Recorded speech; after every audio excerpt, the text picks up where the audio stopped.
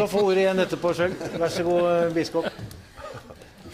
Dette spørsmålet handler, og det får vi jo eh, tydeliggjort her, dette handler i stor grad om hvordan vi forholder oss til Bibelens budskap og til vår erfaring og vår innsikt og vår tid. Og vi er nødt for å ta ansvar for de eh, tolkningene som vi gjør. For det er ingen av oss som leser Bibelen bokstavelig. Ikke noen som står ved panelet her, vil jeg tro. Og det er mye i Bibelen som vi har sagt. Dette må vi forstå slik. Noe som vi leser i Bibelen, tar vi avstand fra. Og denne